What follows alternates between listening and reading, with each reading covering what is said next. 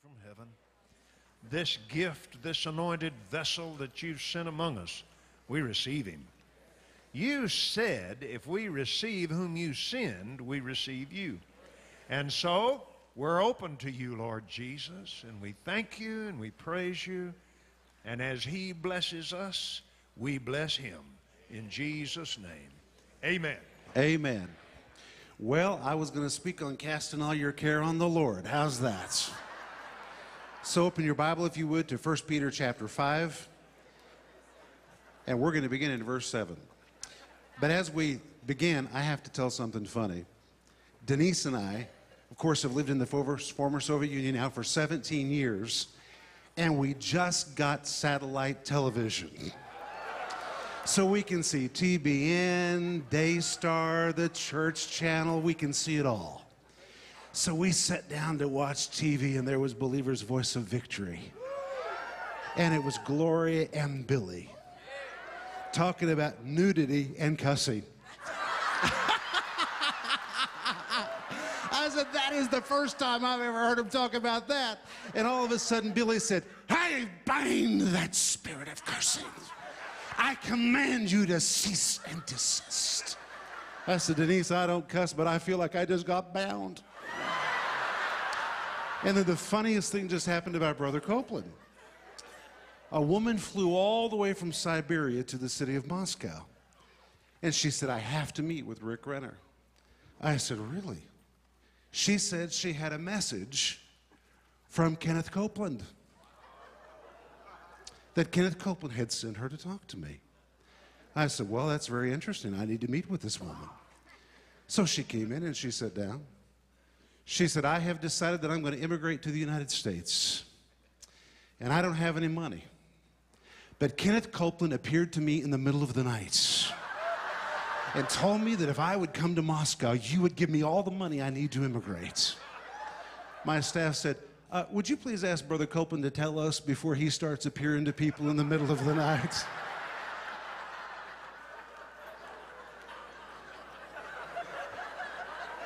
Thank you for your ministry.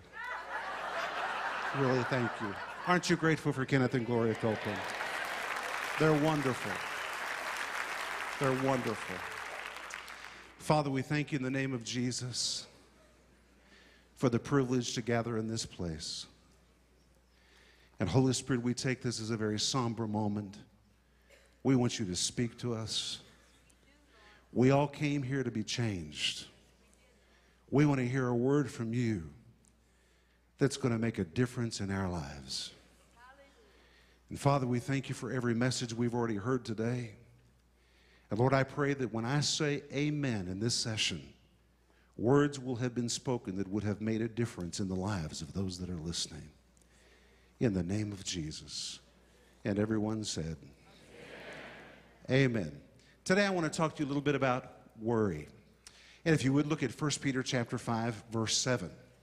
And in 1 Peter chapter 5 verse 7, Peter writes these words, casting all your care upon him, for he cares for you. Let's all say it together.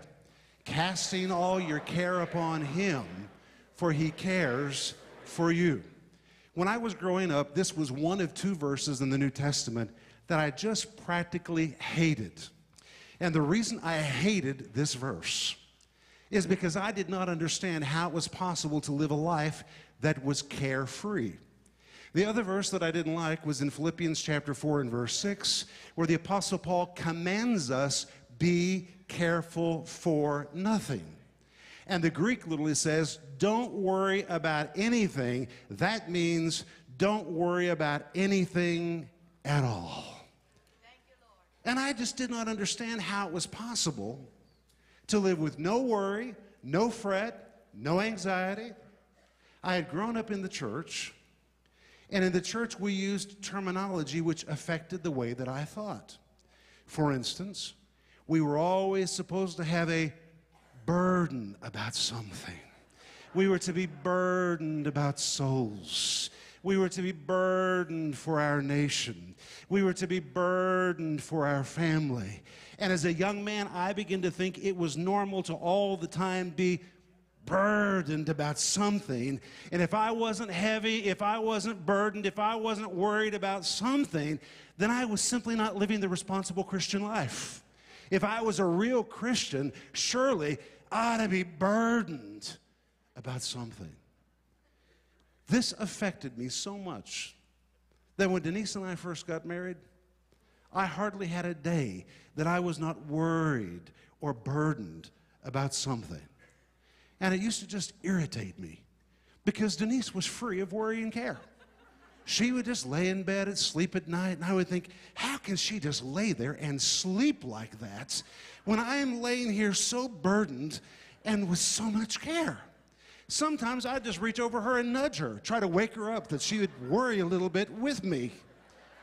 But Denise was totally free. I worried about everything. I worried about the way that I looked. I worried about what people thought about me. I worried about the impact of my ministry. I would teach. Then I would worry about what I said. Then I would worry if people understood what I said.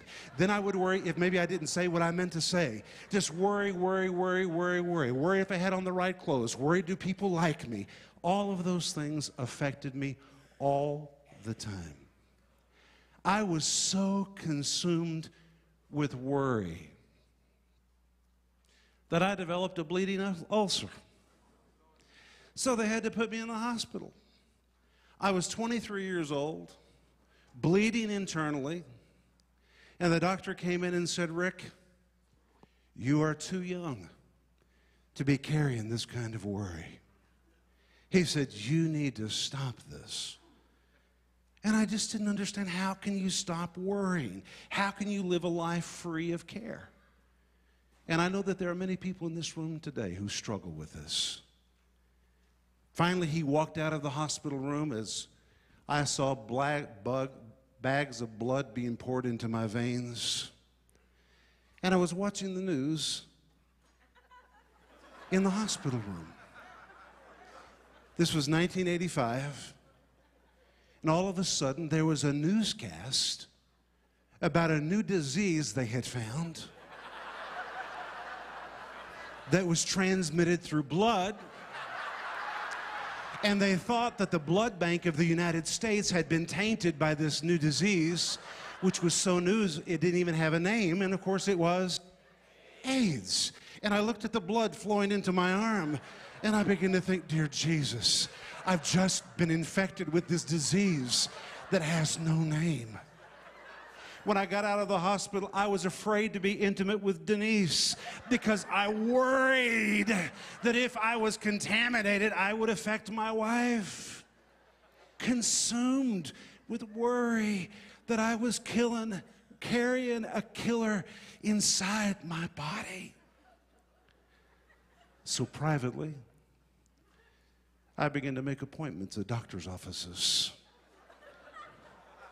And I would go to have my blood tested.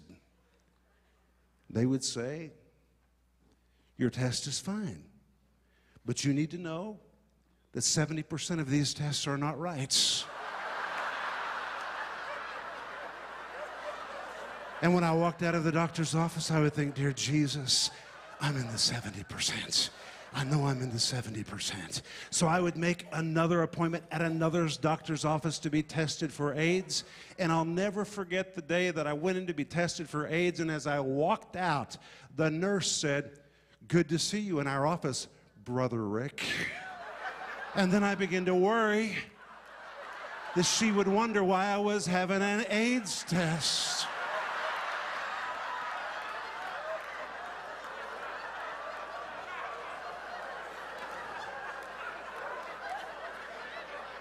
It just consumed my life.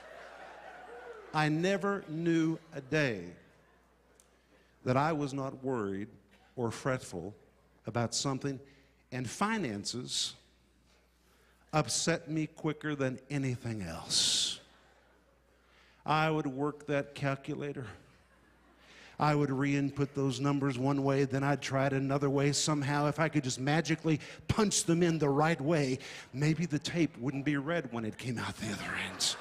Denise would say, Honey, give it to the Lord. And that just irritated me every time she said that. Give it to the Lord. I think easy for you to say, give it to the Lord. People are not calling you to pay the bills. It all falls on me.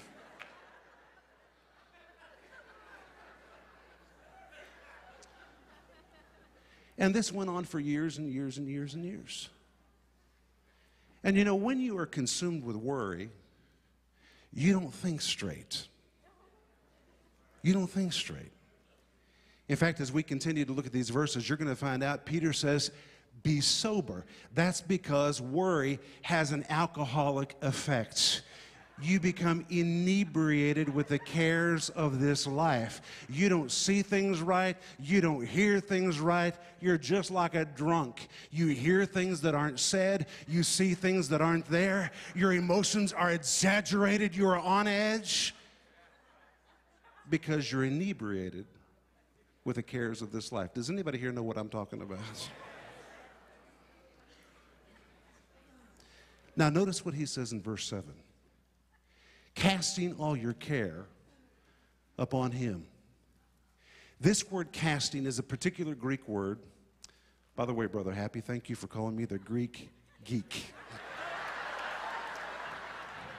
I haven't been called that in many, many years.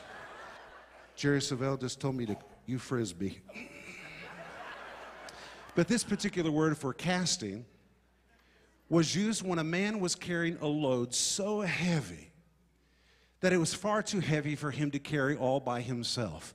The load was so heavy that you would call it a load that would break him. It simply was physically too heavy for one person to carry. So he would call for someone to bring him a beast of burden. Usually it was a camel, or it was a goat, or it was a donkey. And when that beast of burden came right up alongside that person, then he would push up and push over and roll the whole weight of that burden over onto the back of that beast. He would walk alongside the beast. The burden was still there. He simply was no longer carrying the burden. Now he walked freely as the beast by his side carried the burden on his behalf. And that is the word which is used in this verse. So when the verse says, casting all your care upon me, it literally means, let me be your beast of burden. Your shoulders were never made to carry the weight that you're carrying. Call upon me. I'll come alongside, push up, push over, and roll the whole weight of it over on me, and let me carry your burden on your behalf. That's what that verse means. Then it says, casting all your care upon him. This particular word for care is the Greek word for anxiety, fret, worry. But what is really interesting is when the Bible says he cares for us, it is exactly the same word which means you would translate it because he is fretful over you. And the whole idea is God wants to alleviate us of our burdens so much. He is hovering over us, fretting over us, wanting to take the burden off of us, longing that we would push it up and over onto his shoulders. Then the next verse says, Be sober. Everybody say, Be sober. Be sober. Well, what happens when you're drunk? And I'm not going to ask for a show of hands for people who could give a personal testimony. But I think some of us know that when you're drunk, you don't feel things right. Your emotions are exaggerated. Things that are not funny, you laugh about. Things that are serious, you may not take serious. When you're drunk, you hear things that aren't said, you say things that you later regret, and you see things that aren't really there. And likewise, when you are consumed with worry, you become so emotionally affected that you begin to imagine scenarios that could never happen, not in a million years, but they become activated in your mind and you worry and fret over these things that could never even happen. Someone says something, you can't hear them clearly because you're so worried, you hear everything through the filter of your worry. And I want to give you an example from my life. Back in the early days in the city of Riga, when Denise and I were building our first big building, seems like we've been building buildings forever. No one had ever built a church building for 60 years in the city of Riga. We were the first. God told us to build it. We went to the government to get permission, and the government gave us permission with a stipulation. And the stipulation was the building had to be completely built in 22 months, or they would confiscate the building. So, in addition to all the money that we were believing for our regular ministry, now Denise and I had to believe for four and a half million dollars cash so that we could build a building in 22 months. And Denise and I made the first investment. We bought the piece of land. It cost $250,000. Things have changed so much in recent years. That piece of land just appraised for $20 million. $20 million. But Denise and I made the first investment. We had $250,000. We planted the seed. Praise the Lord. We purchased the land. Then we had enough money to bulldoze to begin to build the building. And the building was huge. It was the size of a football field. And because the ground was peat moss, they had to keep digging and digging and digging and digging until finally they hit solid ground. And they dug down almost 15 feet before they hit solid ground. So now they had to remove 15 feet of dirt, the space of an entire football field. And I stood and watched as dump trucks hauled away truckload after truckload after truckload of the richest peat moss, all the time thinking, how could we package it and send it to the United States? They just dumped it in the river. And then when the hole was dug, we ran out of money.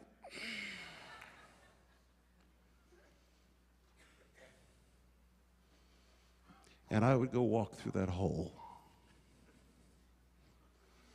and the devil would speak to me. Stupid. You dug a big hole. You don't even have the money to pay for the gravel to fill it. All you have is a big hole. Stupid. The whole nation's going to laugh at you. This was a stupid thing to do.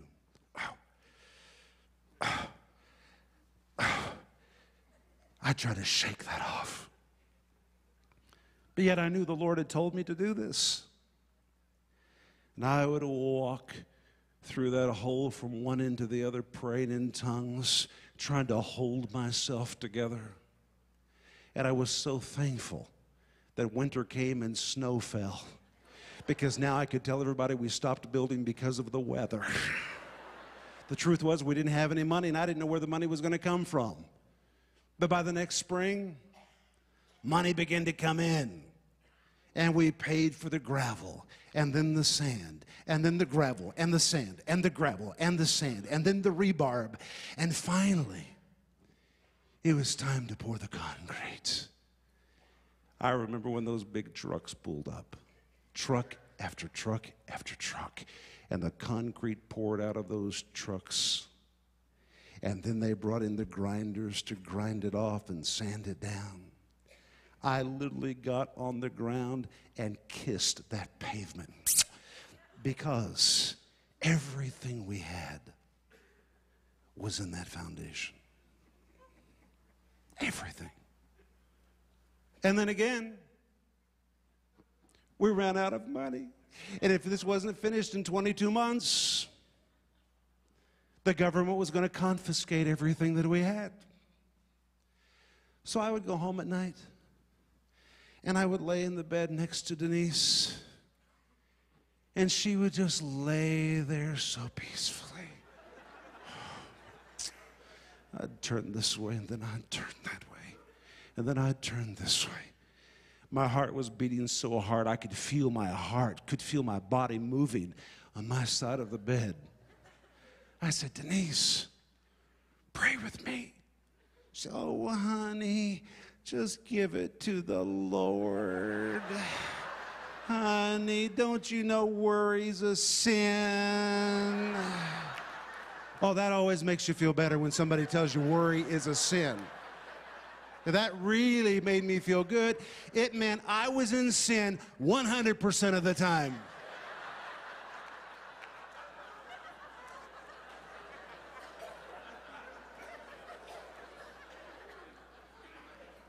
And a group of partners came from the United States.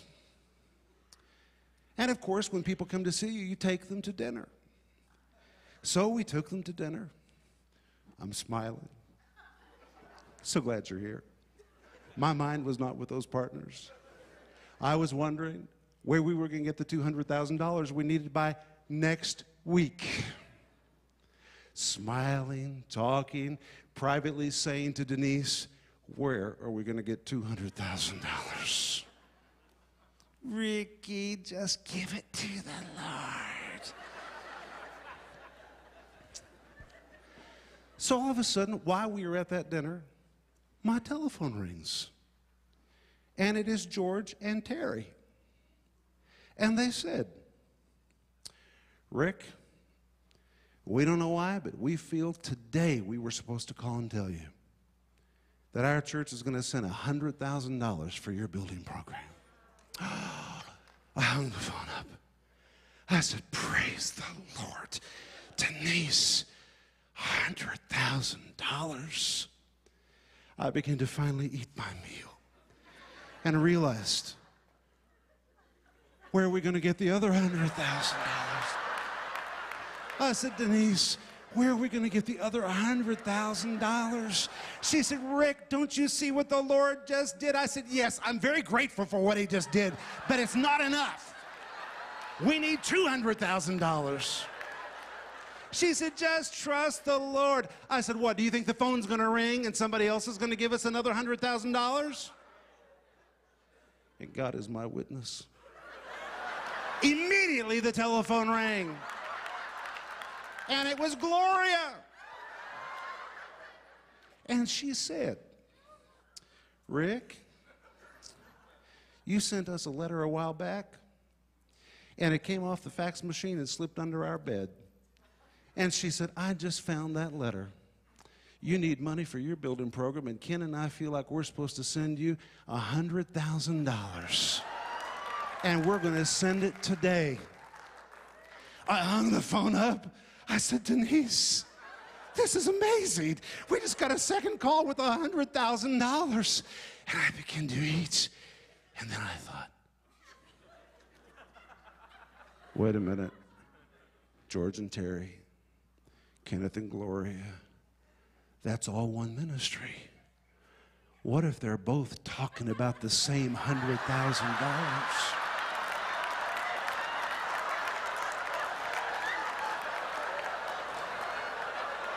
And I began to worry. And I knew I needed to call to clarify was this the same 100,000 or was this a different 100,000? But then I worried that I would sound like I was an ingrate. Uh, hello, is that 100,000 or 200,000 you're giving me? I am not kidding you. Worry just devoured my life. It just ate me up.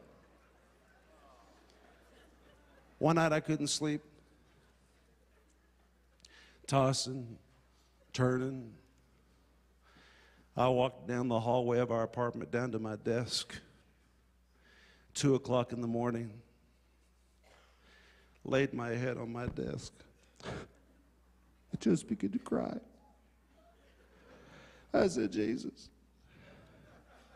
there's nobody else to call. Everybody I know with money has already given money. And I don't even know if you have any more money. That's because when you're inebriated with worry, you don't think right. You don't think right.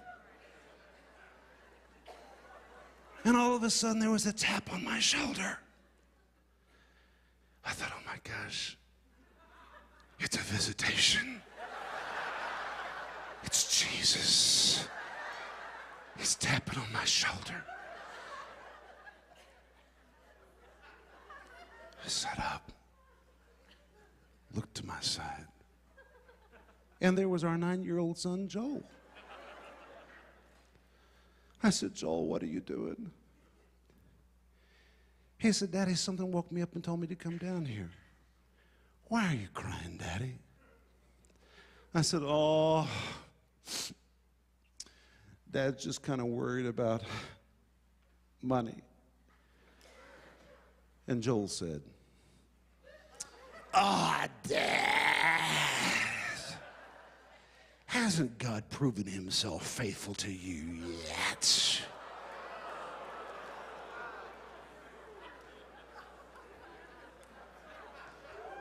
And you know what happened? That word from my son is what started the process of me walking free from worry. When I look at my past, I have no que- reason to ever question the faithfulness of God, and neither do you. You've been through times much harder than the ones you're going through right now. You had times when you didn't think there'd be food on your table. But I know for a fact by looking at people that everybody has food on their tables.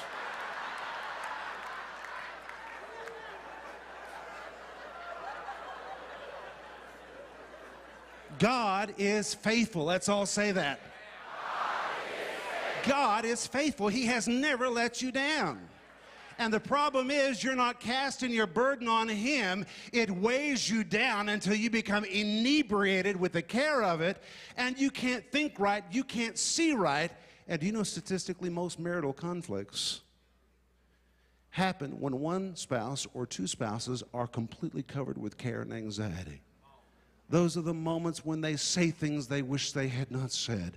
Those are the moments when their emotions are exaggerated because the human body was never designed by God to carry that. It breaks your health. It affects your mind. It makes your blood pressure go up. God never made us to be dominated by worry, fret, and anxiety. And Peter says, casting all your care upon him. Call him alongside. Let him be your beast of burden. Push up, push over, roll it over onto his back. The load may still be there, but you're no longer the one carrying it. Now Jesus walks alongside with you as you are completely free, and he carries it on your behalf. Be sober. The Greek could literally be translated think straight, not like a silly drunk. Then it says, be vigilant. This word vigilant is the Greek word gregoreo. If your name is Greg, that's where your name comes from. This word vigilant, the Greek word gregoreo, is only used, it's never used any other time to describe that moment when an enemy is coming to attack you and you are to be on your guard. A newer translation might say, be watchful, or it may even say, be on your guard. And then he tells us why. Because who? Your adversary, the who? The devil. First of all, let's look at this word adversary. This word adversary is the Greek word antidikos. The word anti means against. The word dikos is the word for righteousness. And when you compound the two words together, the word adversary means one that is anti righteousness. He hates you for no other reason than you are the righteousness of God in Christ Jesus. And everything in Him is anti righteousness. And if you're the righteousness of God in Christ Jesus, it means He is anti you. He is against you. He will oppose you. He will do everything He can to take you down. But what else is interesting is this word adversary, the Greek word antidikos, is the old term for a prosecutor in a court of law. So you could translate it the prosecutor, the devil. Well, now, what does the devil do? When he comes to you, he says, You have no right to claim a miracle. You haven't been giving your tithe. And he pulls up a fact, just like a prosecutor in a court of law. Who are you to believe that God is going to touch your body? And he pulls up a fact when you know that you have been abusing your body. And he reaches into your past, dredging to find something that he can use to prosecute you and thereby nullify your faith. And the Bible says he is the devil. Everybody say devil. This word devil is so important. The Greek word diabolos, the word dia, D-I-A, which conveys the idea of total penetration. The word balos, B-A-L-O-S, from the word ballo, which means to throw something like a ball or to throw something like a rock. But when you compound these two words together, it forms the word diabolos, which is one who comes with something in his hand, some kind of a sharpened instrument. And with that thing in his hand, he begins to hurl it against your mind, striking you once, striking you again, pounding and pounding and pounding and pounding and pounding until finally, dia, he penetrates the mind. And when he penetrates the mind, he then paves a road into your brain.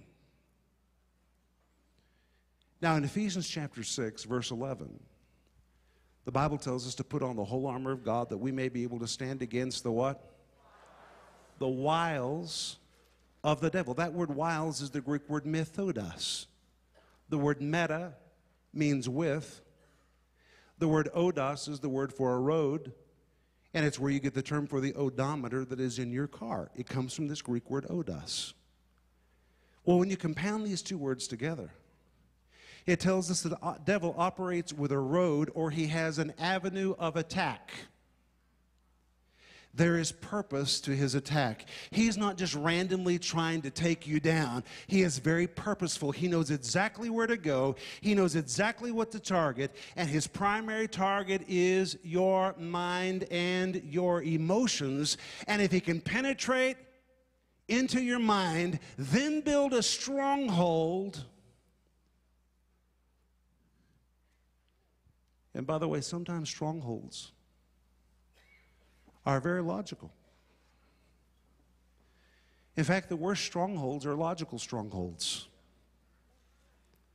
Illogical strongholds are easy to recognize because they are so ridiculous that eventually you realize this is the devil talking to you.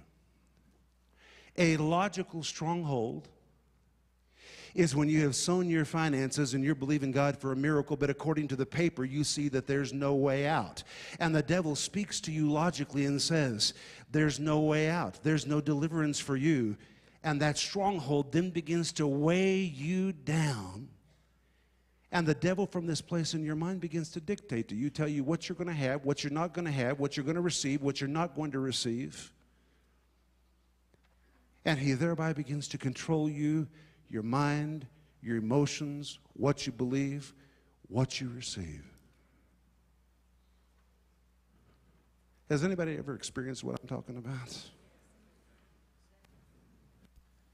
Your adversary, the devil, as a roaring lion, a roaring lion, walks about seeking whom he may devour. One night I was flying into the city of Tulsa.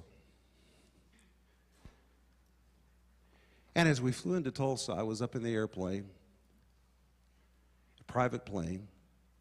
The engines were loud.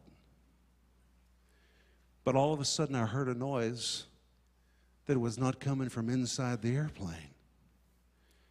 And it was loud. And I said to the pilot, What is that noise? He said, It's the lions. We're flying over the Tulsa Zoo.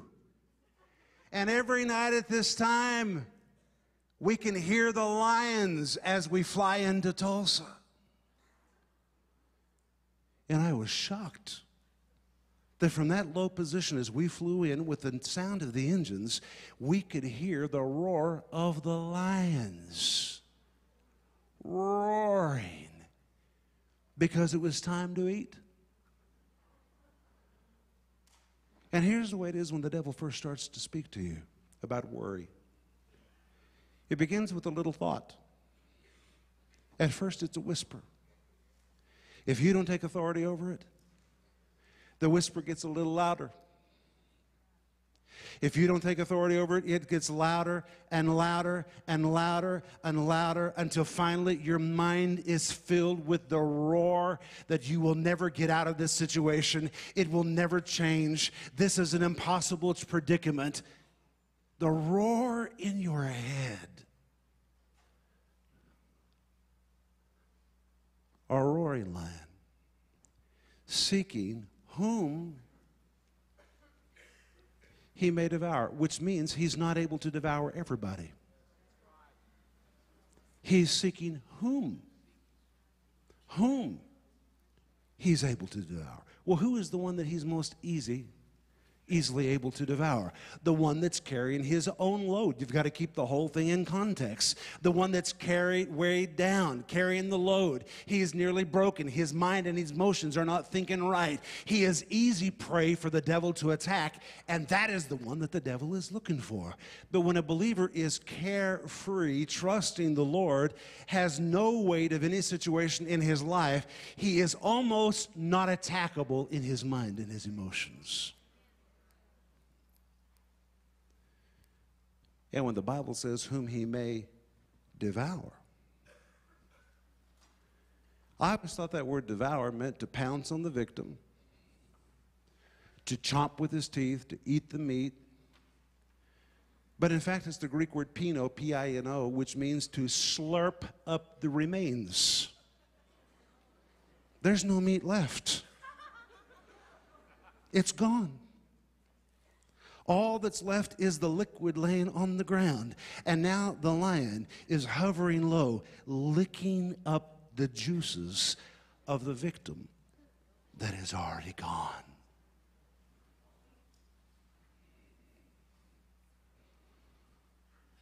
Devoured.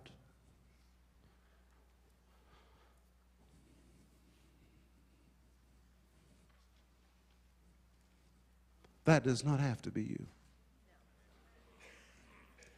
I can tell you there was a time when that was me.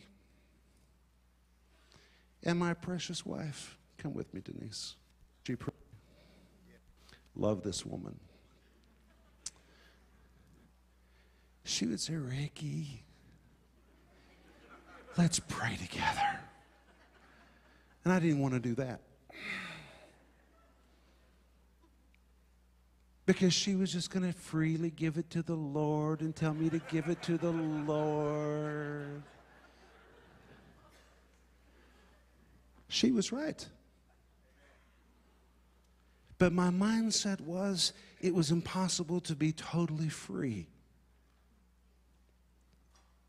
So I had health problems. I had a bleeding ulcer. I had heart palpitations. I had an irregular heartbeat. I had terrible blood pressure all of that. Until the night that Joel said, Ah, Dad, hasn't God proved himself faithful to you yet? Now, I believe there's another key to getting free. You get a little older. And the older you get, you realize how fruitful it is just to waste all your time worrying and not sleeping at night. Age helps just a little bit. When you look back on your life, you see you have survived everything that you shouldn't have survived. You're still here, you're doing fine. Everything you thought you would make it through, you've made it through every bit of it, you're still doing fine. And today I am so totally free so totally free. I don't worry about anything. Never, never. We're right now building a great big building in the city of Moscow. $23 million. Hey, that's a pretty big project in case anybody didn't know that. For a missionary? My administrator says, Where are we going to get that money? I said, I don't know. What do you mean you don't know? I don't know. Pastor, you're not concerned about this? Uh uh Pastor, how can you not be concerned about this? Because it's not my project to start with. It belongs to Jesus, and therefore it is His responsibility to carry the weight of it. That is so true about your church. That is true about your ministry. It belongs to Him. And when we take it into our own hands, is when we begin to feel the weight of it. It's all His, my friends. It's all His. It's His, Billy. The bills are His. Everything's His. Turn to your neighbor and say, The bills belong to Jesus.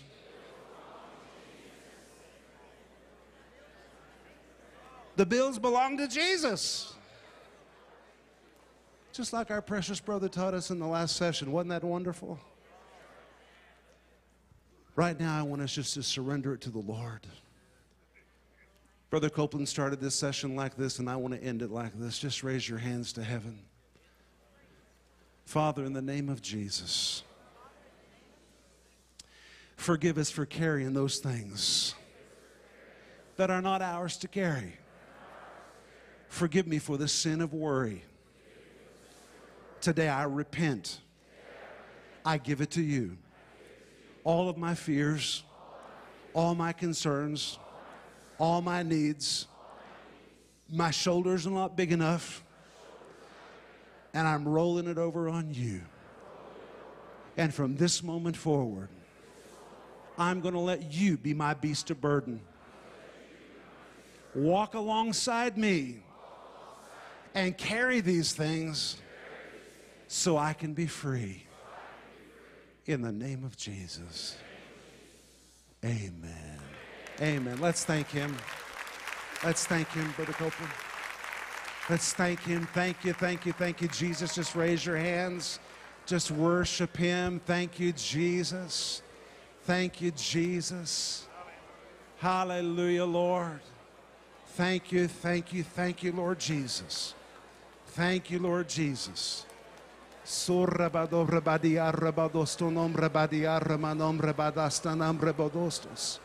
Thank you, thank you, thank you, thank you, thank you, thank you, Jesus. Just worship Him. Thank you, Jesus. Thank you, Jesus. Hallelujah, Lord. Thank you, Jesus. Hallelujah,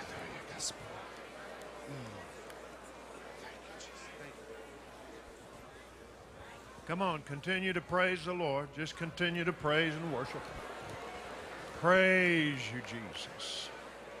Praise you, Lord Jesus. Praise you, Lord Jesus.